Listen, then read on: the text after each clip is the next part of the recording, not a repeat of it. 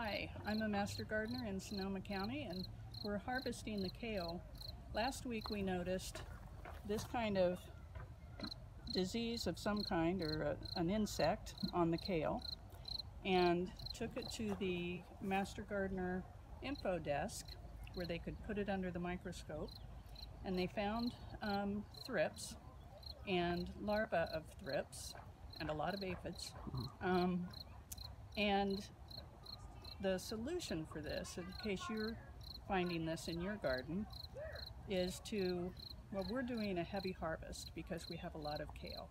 So we're going to pull as much of the kale um, that we can use and sort out the leaves like this. Um, and then we're going to spray it with neem oil. So that would be something you might try. You can also look it up on the um, UCANR IPM website. They have a great pest note on thrips. Thank you.